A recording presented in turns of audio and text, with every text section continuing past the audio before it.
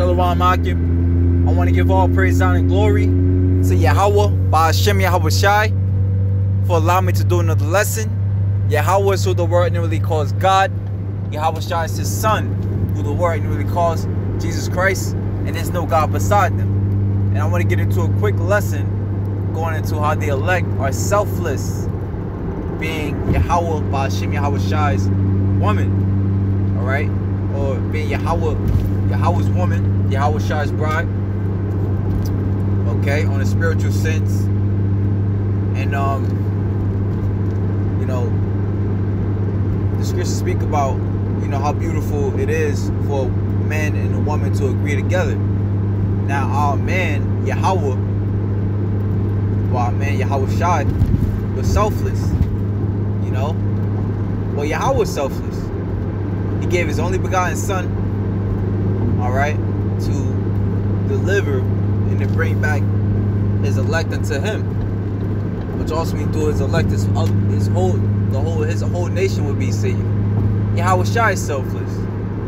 Yahweh Shai, the scriptures say in Hebrews that he, you know, he took upon the form of a man, basically, made himself a little lower than the angels, so that we could be saved. So that we could be saved. So we have perfect examples of selflessness. And then down on down to the prophets. Alright? That was saved. You know, Job, selfless. You know, King David, selfless. Different men of the Lord died for following, you know, Yahweh Yahweh Shai. And not only well, for following Yahweh Yahweh Shai and through following Yahweh Shem Yahweh Shai, you know, they put themselves out there for them for their people, you know, which they were ridiculed, you know. It seemed like it didn't make sense for them to go out there. Nevertheless, they went out there because first and foremost they had a fear of the Lord, you know, and they had a love for their people. You know? And um contrary to popular belief, we the only ones that really love our people, man. We really the only ones that really love our people. That's why we get on them for the wickedness that they do.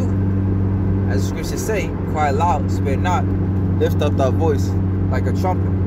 Right? Now I wanted to get uh Proverbs chapter 31 going into a virtuous woman. Because when you go into the word virtuous, right? It means moral moral fortitude. Right? And as you can hear, I'm driving, so, you know, bear with me. Uh, Proverbs 31 and 10. Who can find a virtuous woman? For her price is far above rubies. Alright? The heart of her husband doth safely trust in her. All right, why? Because a virtuous woman, she nine times out of ten, or yeah, ten times out of ten, I would say, she learned that virtuousness, which the word "vert" goes into the word man. She learned that from her husband. You know, she learned that from her husband or from her dad. You know, or from a spiritual man. You know, she looked up to or whatever. Like today, you have women that may not have particularly have husbands, you know, but they watch brothers' videos and they get edified, you know, and um, you know, through that they they move accordingly. All right. So as we learning the scriptures, you know, learning the ways um how to please our husband, we move accordingly. All right, like the scriptures say in Matthew 25 we had a servant. And the scriptures put it plain on how to please the Lord Yahweh Shem Yahweh Shai. For example, how you had the king that went away and you know he delivered his talents into his servants. You know? Again, going into what?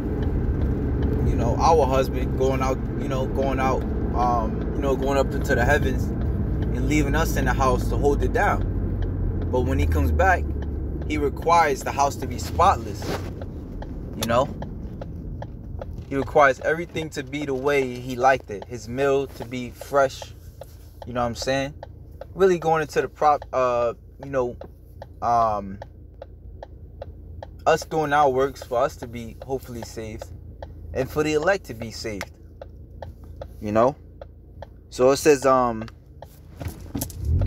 she would do him good and not evil all the days of her life.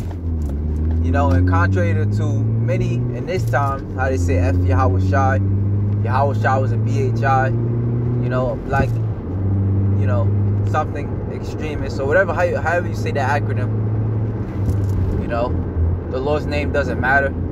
Those are not virtuous women, you know.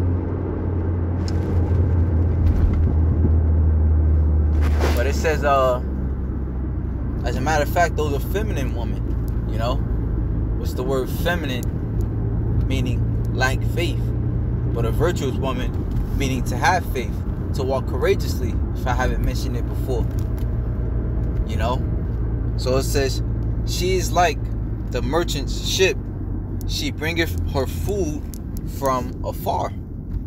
She riseth also while it is yet night and giveth meat to her household and a portion to her maidens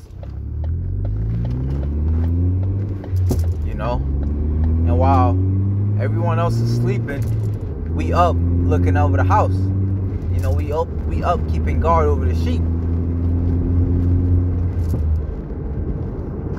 It says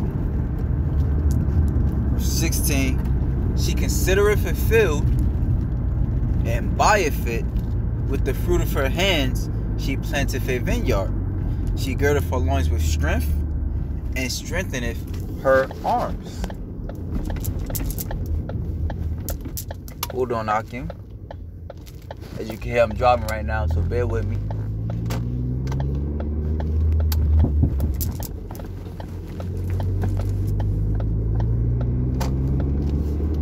And strengtheneth her arms. She perceiveth that her merchandise is good. Her candle goeth not out by night. You know? So we doing what we gotta do to make sure that it is, you know, the household, you know, is to our husband's liking. You know, we're not taking the time out to cater to ourselves, as most do. All So that's pretty much the point on that. I don't really have to go too crazy. You know, just go, you know, just giving a point of how, you know, the elect of Yahweh Hashem Yahweh would be selfless. Alright? This is Sirach chapter 2, verse, let me see, 15. They that fear the Lord will not disobey his word. They that love him will keep his ways. They that fear the Lord will seek that which is well pleasing unto him. And they that love him shall be filled with the law. They that fear the Lord will prepare their hearts and humble their souls in his sight. So no matter what we go through, as the elders out there in Dallas going to all the time, you got to take yourself out of the equation. You want to do what he enjoys, what he likes. Okay? what makes him happy and what makes the Lord happy. You know? What makes the Lord happy, you might ask? To do as he says. Don't talk back, don't question, do as he says. All right? And, you know, to just do as a person says, you really got to believe in them. You know? You really just got to believe in them. You got to see them as the leader. Saying, We will fall into the hands of the Lord and not into the hands of men. For as his majesty is, so is his mercy. You know? Hey, so if that, shalom to the elect.